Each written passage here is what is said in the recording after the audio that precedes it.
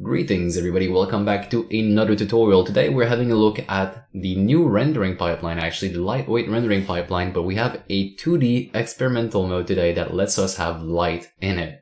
And it's quite cool, so if you have a look over here, all these sprites you see are using the um, the new shaders, the 2D rendering pipeline. And um, sorry about the dog in the background, but I have a light over here. So I have a point light, I have global light, I have all the same stuff you have in 3D and as you can see it affects everything. So I can move around like so. It also affects the particle in the background.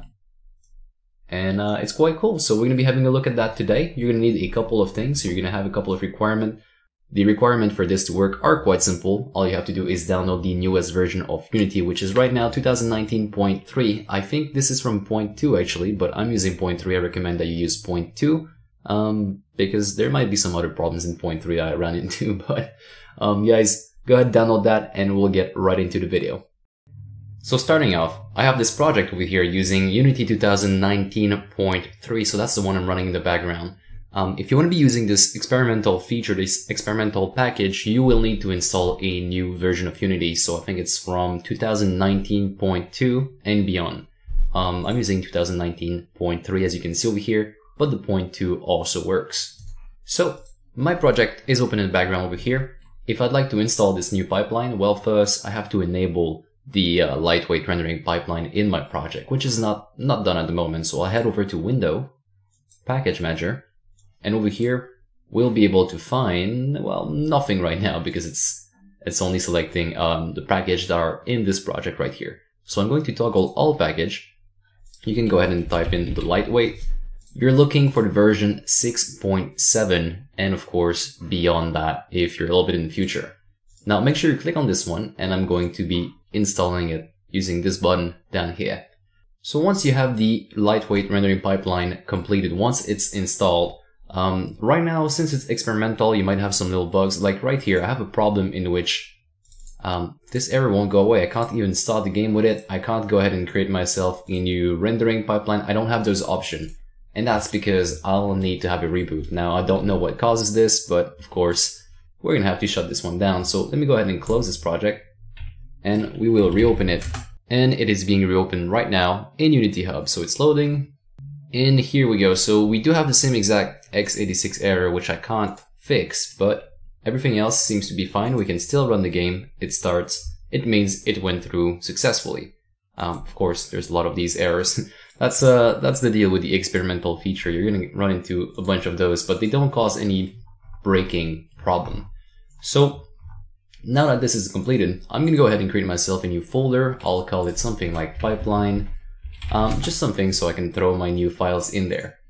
Now it's very important that you do create those new files. So let's go ahead and right click, create, rendering, light lightweight rendering pipeline, and we want the pipeline asset. So I'll just call this 2D render. I'm really not that familiar with it. I'm just exploring this option with you guys today. So we're gonna go ahead and do the same thing, rendering lightweight pipeline, and then we'll use the 2D renderer.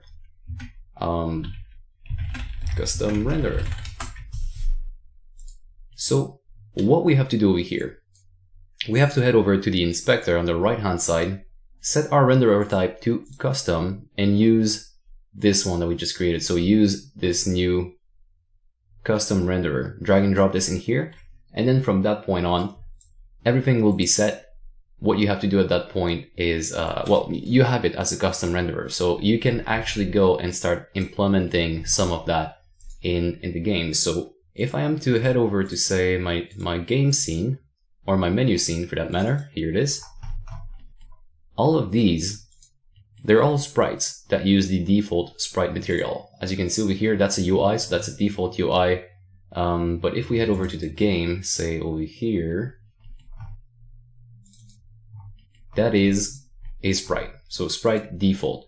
Now what I want to do here is I want to be able to create a new material that will be using this uh, new default pipeline. So all of these, they use the sprite default material, and I'd like to change that. So I'm going to go ahead and create myself a new material. I'm going to call it something like um, 2D rendering uh, default, something like that. I'm not quite sure exactly. We might need more shader in the future.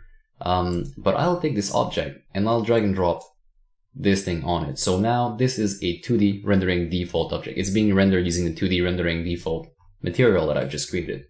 Now it's very important that we head over here under shader and we actually select that um, lightweight rendering pipeline. So what we chose earlier.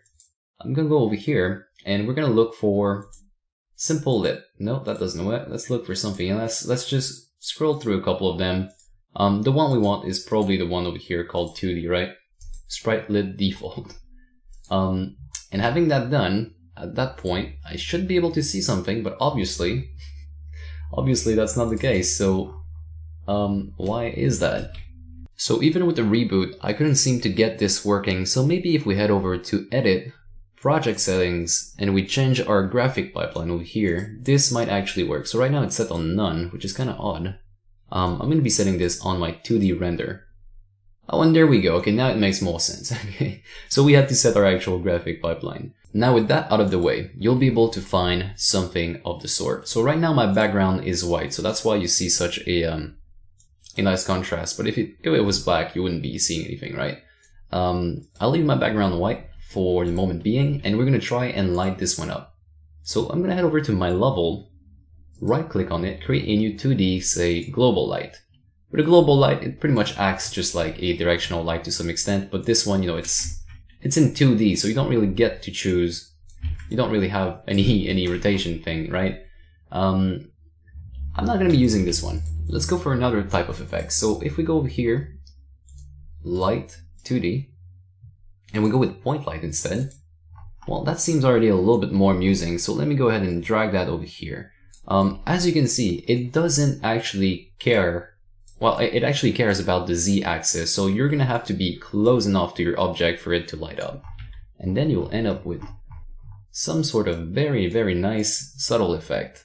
We can see it over here in the game scene. We can't see it here so much because I'm stacking a couple of objects. But on this side over here, we can start seeing the light. And that is quite nice. So let's see what kind of option we have. And I'm, I'm always looking on the left hand side over here if I want to have a proper result of what's going to be in the game.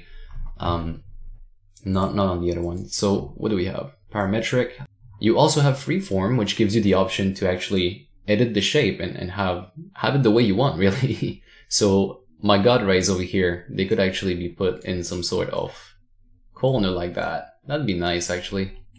What else do we have? We have sprite, so you could take the form of a sprite, that's cool, point light, and of course the global. So I actually like that quite a lot. What I think I'll do is I'll run a global light with maybe smaller intensity. So something like that. And then the the god rays are going to be lit up a little bit more, just like so right now. I actually like that quite a lot. Alright, so I'm back with a little bit more of that composition. There, It's very subtle, but there is a animation on this light. I don't know if you guys can see it, um, but it's like breathing animation. It's very, very hard to see. Um, you can also see that I've added some particles in the background that use the same, same shader. Um, when I mean shader, I mean the pipeline. So over here under my rendering, it's using the 2D rendering default shader.